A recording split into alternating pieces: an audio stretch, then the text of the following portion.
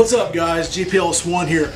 Uh, coming up in the next few videos is going to be a bunch of tips that I've learned over the past few um, years racing RC and tips that'll help you on the cheap side of things. Things that'll help you when you ain't got the cash to have the cool stuff other guys don't have. So, what we're going to talk about today, right off the start, are in everybody's pit, you know, everyone has pit stands, car stands, you know.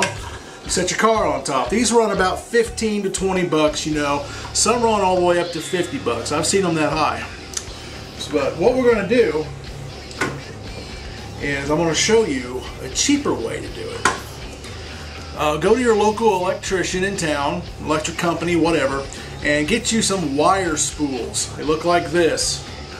Little wire spools. They throw these away, okay? Get the small ones.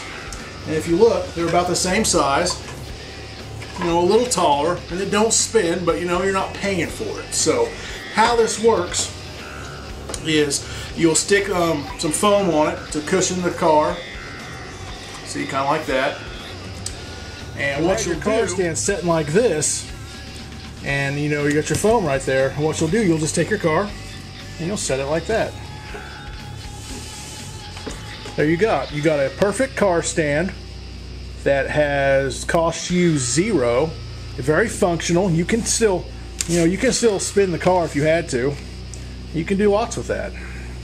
So that's a quick RC tip from gpellis1 right there.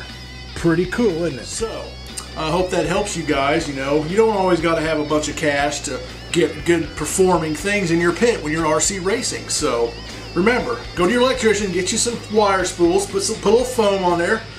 There you go zero dollars, you got yourself a car stand. So until next time, we'll have some more tips for you.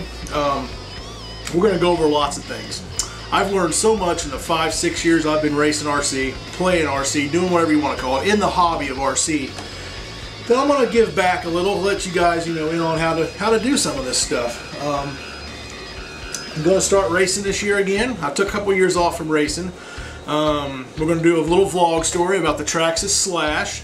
I'm going to run in a Slash stock class, and then we're going to graduate up into a mod class. We're going to run Slash truck, short course truck racing. So, excuse me, it's what we're going to get into this time. So, stay tuned for that. We pick up the Slash next Friday. Cameras will be rolling. You guys are going to see every step of the way of what we do to this Slash. And we're gonna we're gonna get it to perform. I'm gonna show you guys. You don't gotta spend tons of money to have fast RC, cool RC equipment, stuff like that. So stay tuned, more RC videos coming up. I hope you guys are ready for them because I get emails all the time. What happened to the RC videos? Why aren't you doing them still? I hope you're ready because I'm I've got the itch and I'm doing it. I am getting the RC stuff out and we're gonna do it. So I'll catch you guys later. We'll have another pit tip coming up in the next video. Um, I don't know what it'll be about. I've got plenty to show you guys. We'll talk about pit boxes. That'll be the next video. How to get a good functional pit box. Talk to you guys later.